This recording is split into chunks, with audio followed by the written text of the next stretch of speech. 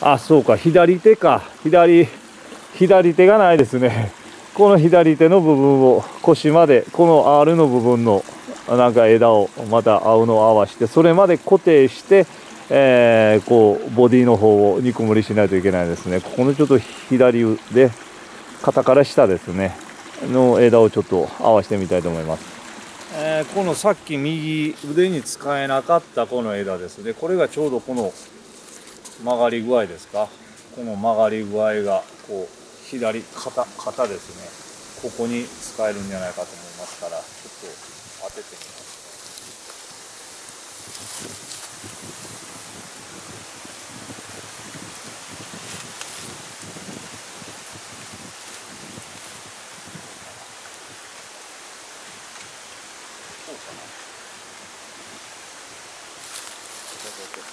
どうですかね？肩。肩にならないですかね。こう肩からまあ腰の方に手がいってるような骨格に使えるんじゃないですかね。ちょっとこれをこれをまた固定してみたいと思いますね。まあこっちの方はもういりませんから切って、えー、これも切ってこの部分だけですね。この部分まで途中まで切って、えー、固定してみたいと思いますね。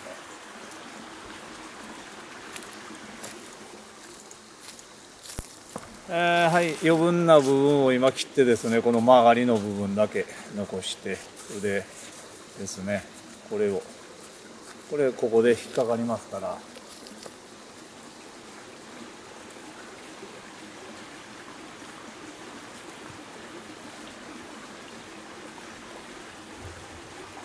こういう感じですかね。どうですかね。肩から腰の辺りまで手の感じですね。こういうこういう感じですか。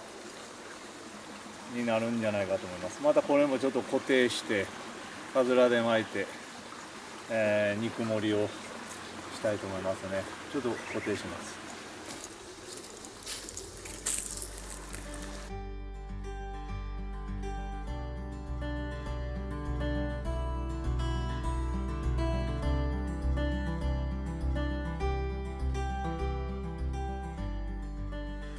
肩の部分、えー、右手右手のつもり、えー、左手のつもりつもりつもりで出来上がりましたけどね。まあちょっとこれに、えー、まあ、粘土をくっつけて固めていってまたその上からあカズラをまでいって、えまた肉盛りをするという作業をやりたいと思いますね、まあ、とりあえずこれで、えまあ粘土を練ってですねこの足の部分昨日練ったえー、粘土を練ってですね上半身置きは固めるところまで肩、まあ、腕までいければいいですけどね腕もちょっと巻いて、えー、絡ましていかないとつかないと思いますから、えー、またちょっと巻いてですね細いやつを肉付けをしてみたいと思います。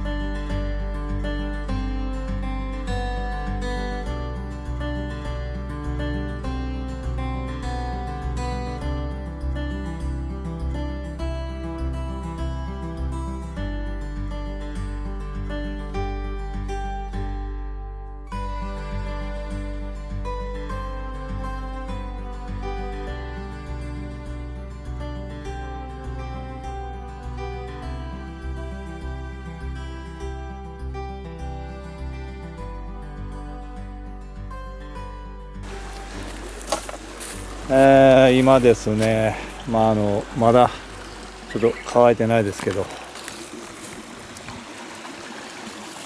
どうですかね、まあ、肩と手を伸ばしているような感じで、えー、全体的に。足から肩手ですね。まあなんとなくイメージになってきたんじゃないかなと思いますね。まあこんな細くはないですからねボディが。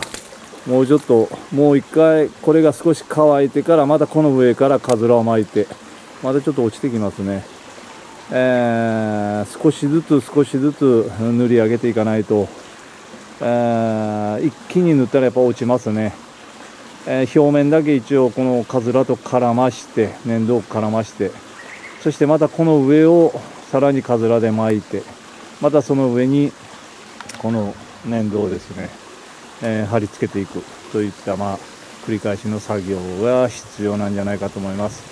ちょっとこれで今日はですね、まあ、一応この辺まで縫って、えー、乾かしたいと思います。そしてまた明日この全体的にまた今日取ってきたこのカズラをですね、えー、巻きつけていきたいと思いますね。はい。ということで、えー、まあなんとかですねこう足から肩の部分の形的なねまあこれじゃちょっとターミネーターみたいですからあまあなんとか肉盛りしていったらちょっと動画長すぎるかなこれ。足の割には。ちょっと長いかもしれないねこれ。あ短足やなこれ。あーちょっとこれは動画長すぎたかな。え、まあなんとかなるでしょう。もう今更壊せないですからね。はいということでまあこの続きはまた明日えー、撮りたいと思いますね。今日はちょっと えー、まあ先まで縫ってですね、えー、乾かして終わりにしたいと思います。それでは皆さんまた今後とも応援よろしくお願いいたします。またお会いしましょう。